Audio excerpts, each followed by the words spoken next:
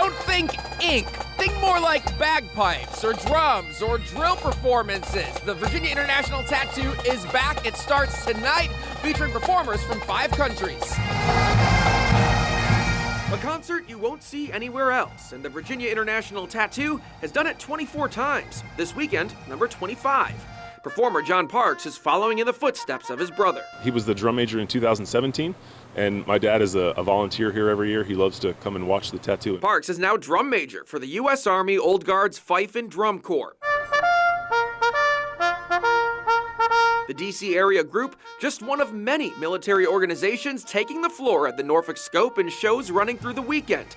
After a virtual performance in 2020 and outdoor at Old Dominion University in 21, the tattoo is back in its traditional home. The acts, like the Coast Guard drill team, are as strong as ever. Our element is precision drill. And what we do is exemplify the Honor Guard's core values of pride, poise, and perfection on the highest level possible. But it's not just the U.S. here. Also represented are Canada, the U.K., Jordan, and the Netherlands. The bike riding musicians from the Royal Netherlands Army Mounted Regiment enjoying their time in Virginia so far. Well, the days are blending a bit together because of the time difference and a little bit of the jet lag, but it's really good fun. We, we have uh, a lot of rehearsals, a lot of laughs, and a lot of beers. Okay, here we go.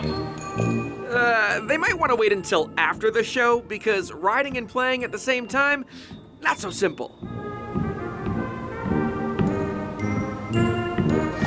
Now don't worry, it's just the professionals performing this weekend, I promise. The first show set for tonight at 7.30. We have more information about tickets and more information about the show in this story on our website, WTKR.com. Here in Norfolk, Anthony Sabella, News 3.